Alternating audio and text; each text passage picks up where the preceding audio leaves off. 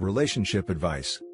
Mother, 42 female, who abandoned us in middle of the night, came back after 16 years, and it's killing me. 24 female, inside that my brother, 17 male, and father, 42 male, are too forgiving towards her, and it makes me resentful towards my own brother and father.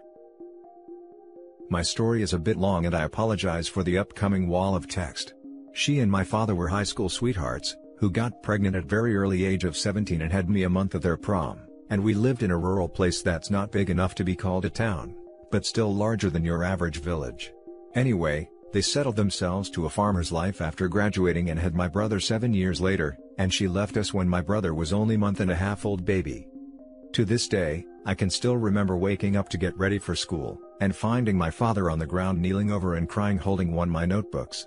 I was just a child at the time, and seeing my father curled up like that made me cry too and that's when my father got a hold of his emotions and righted himself up to pick me up. She, in her hurry to leave, literally took a notebook from my school bag and wrote her half-assed excuses to why she was leaving us, how she never wanted kids, how she shouldn't have gotten pregnant, and how things should have turned out differently, and how this small town was smothering her around her neck. She needed to get away, and how the second child, my brother, was the final noose that wouldn't let her breathe. I learned what she wrote on that notebook, a year or so later when I found it in the drawers. She left with our truck and had someone deliver us the truck a month or so later, without even sending a word or anything. Just some guy came and said here's your truck. My father was a mess afterwards, not taking care of the farm, stopped eating, started drinking.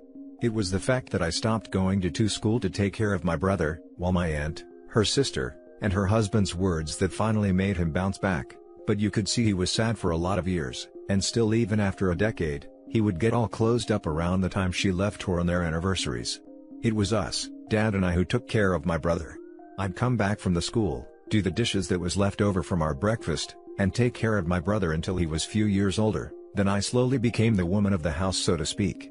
I'd cook the food, do the dishes and take care of my brother after school, and my father would spend nearly all his waking hours trying to manage the farm. We weren't the richest people around, but with only one depressed adult and two small kids, we earned more than what we needed, and even saved up a bit for my brother's college fund. My father insisted that I should have one for myself as well, but I was spending too much time on domestic and farm-related stuff to actually focus on my studies, and if I have to be honest, I loved the farm, animals and taking care of my brother. Anyway, Nearly a year ago she returned to visit her family, my aunt and us too, and she was apparently was planning settling back here permanently. We knew that she had a good few years of modeling, which led to her joining the staff of a some sort of a magazine from our aunt, as she still called her from time to time. She tried calling us a few times as well, but I refused to talk with her, and I think she was too ashamed to ask to talk with my brother. Anyway, when she came back, she apparently had enough for setting back here with a new house and some land. After few days of her coming here, she tried to contact us again when she and my dad ran into each other at the town center. My dad says he told her about my opinion on her, but she insisted. Apparently, she owed that to me and I shove it, for the lack of better term, with few extras on the side as well. She tried the emotional, regretful parent on me with her crying and all, but I don't buy it, or rather, I just wish she never came back to disturb us and lived in her airy, breathable big city life, and left us the hell alone. My brother was not there at the time, as he's in his first year of college, he was admitted via early enrollment thanks to him being a lovable genius that he is. I knew my dad was still in love with her, I tried to set up a few dates for him before, but it never went anywhere, and that summer, well this summer, they started dating again to my dismay and my brother's joy. My dad invited her over to dinner when my brother came back from his summer break and we had a family dinner. I wanted to warn my brother about her. But seeing his enthusiasm about it, I couldn't break his heart, so I just stayed civil and didn't speak unless spoken to. My father had kept that notebook for more than a decade, but I decided to burn it when I was 19. My father and had a pretty big fight about how I had no right to burn it, but I said to him that it was better than my brother accidentally finding it, and reading how her mother thought him as a noose around her neck that wouldn't let her breathe, and he caved in after that. Now, whenever I see her in our house talking with my brother who looks up to her like the genie finally granted his wish, I remember what she wrote and the rage and hatred that goes through my very soul, is becoming that goddamned noose that won't let me breathe.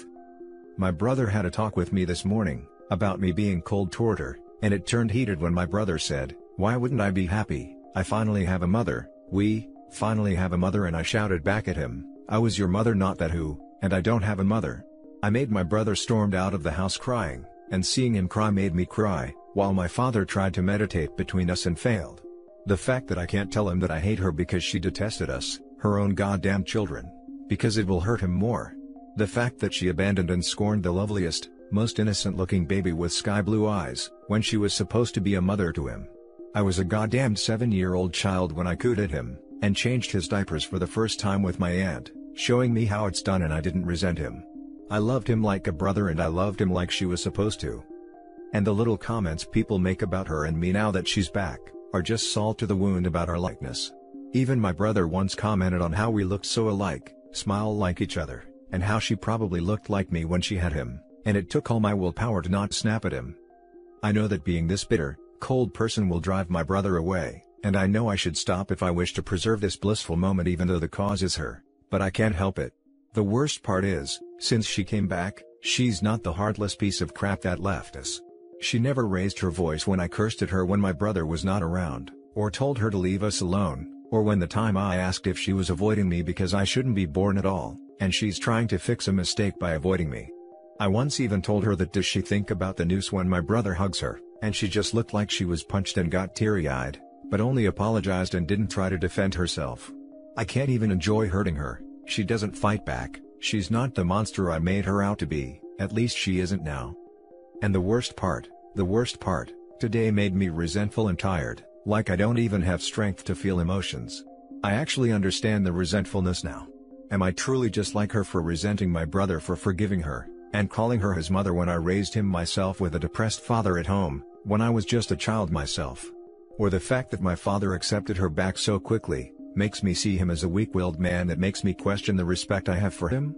Did I resent the fact that I stayed here on the farm, not going to college? They made me skip a grade as well before my mother left us. Would I find some sort of new outlook on life at college that would make me more like my brother or father, and be happy instead of being resentful? I've vented quite a bit and I'm sorry and thankful to you guys as I think it let me unwind a bit. So my question is, what am I going to do now? Now for the top advice. Her abandonment is a trauma, and she can't expect to come back and think everything is okay, regardless of how your brother and father are reacting. Family therapy might be worth pursuing. Forgiveness is also a personal thing. I think you are judging them for their response, understandable, and they are judging you for yours. They need to accept that you're entitled to your feelings, and that things do not get fixed overnight. Likewise, you have to accept their reaction. I think you're in an impossible situation and college might be good for you. You can focus on your life and your future, instead of sacrificing for your family. You didn't have a childhood and deserve to have your own life now. Even if you don't want to do family therapy, you could get a counselor and work on your own issues. This sounds incredibly painful and I'm sorry you're going through this. Thanks. I am not sure about family therapy. None of us ever had professional help when it comes to mental health, and it feels like it would be such a claustrophobic uncomfortable experience. It might be my lack of knowledge talking, but talking about our most inner thoughts and feelings as a family with a stranger chiming in on the side, I think I'm too bottled up for an experience like that, and I think I would explode or embarrass myself. I don't know what to do with myself. I love the farm, I really do. I love my animals, our LGDs, cattles, sheeps. I grew up with them and I love taking care of them, and I've never stayed a night in a big city as well, so I don't know if I could like the idea of living there. I remember wanting to be an archaeologist or a historian when I grew up, but I still read even as a farmer, so I don't know. Thanks again. You need to sit down with your father and talk with him, because he's the only person who knows the truth of the situation. But I don't think that's going to solve it for you. Please get yourself some therapy. It might be that you yourself need some separation from your family if they're going to welcome your mother back with open arms, without considering how it makes you feel being forced into the mother role at 7 years old. All the rage aside, I don't want to make them choose between myself and her either. I don't know what I want, but making them miserable is not on the list. I'm just exhausted and sad right now. This is a pretty emotional situation. Unfortunately, your brother will never understand the resentment you have for her, because he doesn't know, and shouldn't know, what she wrote and why she left, in the same way you and your dad does. I don't blame your dad for still loving her, he sounds like all he did for over a decade is do his best to survive without her, and never really moved on. You got hurt so much from her leaving. You, as a child, put the weight of your family on your shoulders. You took on responsibilities and an emotional burden that you never should have at such a young age. You needed to grieve the loss of your mother in your life too, but you didn't get to properly. And all of a sudden, she's back? Yeah, that's crappy as heck. She left all the childcare to you and your father. We could sit here all day talking about how messed up it was for your mom to leave, and then pop back up like nothing ever happened. She got to go on her own successful adventure for many years, doing her own thing and abandoning her family. She obviously is hurting from her own actions too, however, she has no idea what you are feeling. Everyone in your family is dealing with this differently, and I know it hurts you how easily your brother and dad could let the person who abandoned you all back in. I suggest you try to step back now. You're 24, you spent your life taking care of your family. I think it's time you think about yourself, not in the extreme way that your mother did, but like maybe try to get away from this for a while. Could you ask your aunt or any friends to go on a trip? Maybe you could go to school yourself and work on your future. Maybe move out for a while and just take everything in. I know you're feeling a lot of things right now, but maybe getting away from her is what you need again. Take some time to work out how you feel, without pushing away your dad and brother in a way that will hurt your relationship with them. Obviously, everyone is going to recommend therapy too, but seriously, just think about you right now. Now for the next story. Update. My twin sister, 25 female, reached out to me to apologize, and wants to make it up to me after 8 years of no contact. Original post. Long story short. My sister was the golden child, and I, 25 male, was the black sheep of the family. She could get away with anything and got everything she asked for, while I had and was always blamed for everything, punished for my sister's mistakes, and I had to beg for some of the basic necessities. Good thing is, I had some few friends who were there for me. Anyway, the last straw was when I was 17. I realized my parents were not planning to pay for my college tuition, and were planning to kick me out when I turned 18. To spare them the hustle, I just told them I was leaving, and their faces couldn't say more.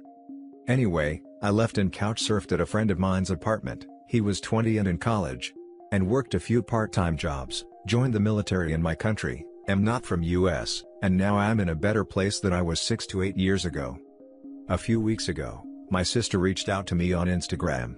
It started as a small talk, catching up, then the topic switched and she started apologizing for treating me like crap and neglecting me. She asked me to forgive her and my parents, and asked me to visit them. She said they were all sorry for everything, and also, because dad was sick and has less than 6 months to live. I told her I don't want to talk about it, but I will let her know when I make my decision. I'm not wealthy, but I'm stable financially, leading below middle class to middle class life. I work two jobs and have a two bedroom apartment where I live with my girlfriend, and I take alcohol and I smoke weed. While she has a degree earning an almost six figure salary, and engaged to some guy who makes five times than what I make in a month. So, I don't think it's anything to do with the money or organ donation. It would be good to finally reconnect with my family for the first time. But still the trauma of being neglected lingers somewhere in the back of my head. Thank you, if you made it this far. Now for the top advice before reading the update.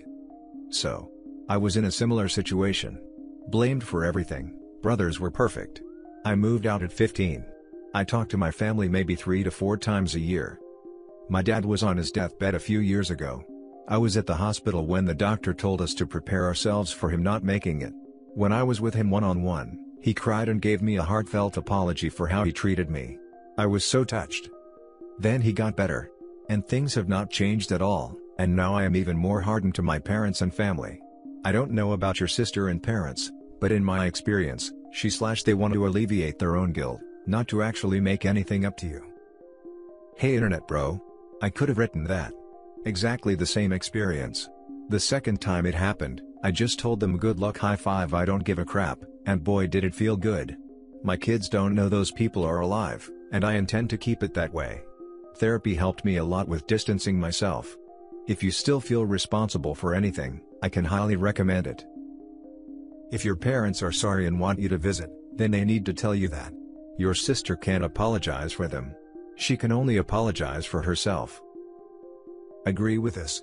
The parents need to confirm their intent. How convenient that when the dad is dying, is when they only decided to reach out, funny that the parents couldn't tell you themselves that they're sorry. How freaking convenient. Yes, it's very telling, isn't it? There is almost certainly an ulterior motive here. OP doesn't think it has anything to do with finances or organ donation. My guess is a bone marrow transplant, but it could also just be to assuage a guilty conscience. Either way, it's got nothing to do with making things right for OP. And now for the update. And after taking some time to think, I thought it would be better to give a little update.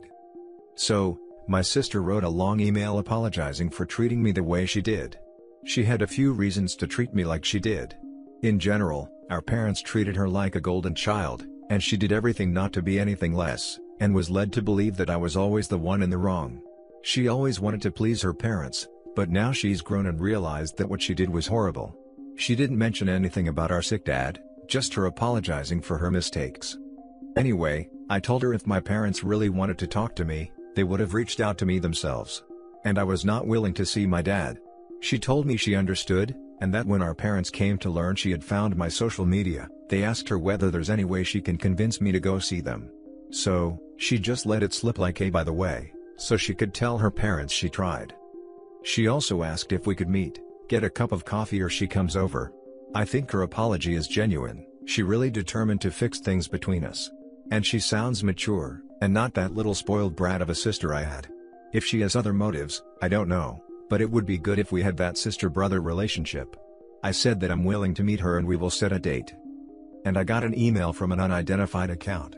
Haven't opened it, but I guess it's my parents.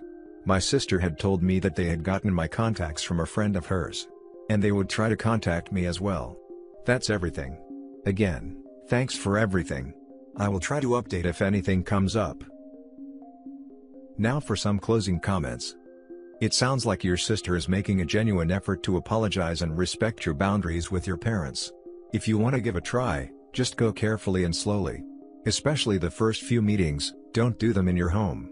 Be ready to walk away immediately if your parents crash these meetings.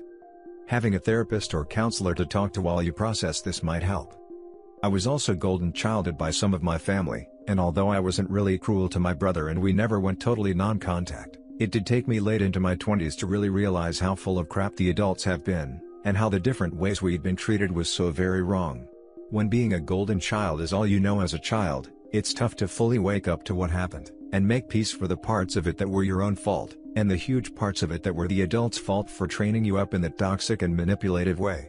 Now we're in our 30s, and although I wouldn't say the wounds will ever heal entirely or perfectly, we are truly friends again and I'm very grateful that my brother let that happen. I would have understood if he hadn't felt able to accept me, given the way we were raised. But screw your parents. Keep to your hard no contact with them, and expect your sister to continue to respect that. I was never the golden child, we joke that I was the midnight gray sheep, but I definitely was led to believe that my black sheep brother was the problem. It also took me getting out of the house, to appreciate just how much he didn't deserve that. It is so frustrating to realize just how isolating and unfair it was for my brother. I'm really glad we never went no contact, because we have an incredible relationship now. It's nice of your sister if she really wants to make amends, but be wary. She may bring your parents along when you go to meet her. You could scope out the location from a distance to avoid contact if she does this. I just hope she doesn't bring your parents with her when she meets you to talk. I have a feeling she won't. People change a lot when they are younger. If they were both in their 30s, I would be more concerned. When parents came to learn she had found my social media, they asked her whether there's any way she can convince me to go see them. So, she just let it slip like a by the way, so she could tell her parents she tried.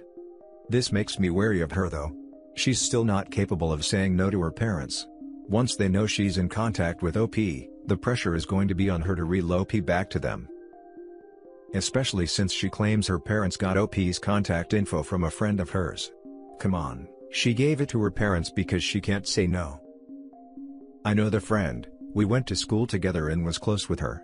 She travels a lot for work and works in IT. She was close to my parents, so I'm 70% sure she did it. And that's it for this video guys, if you have thoughts to share, leave a comment below. Don't forget to hit like and subscribe if you like this content. I'll catch you in the next one. Good day everyone.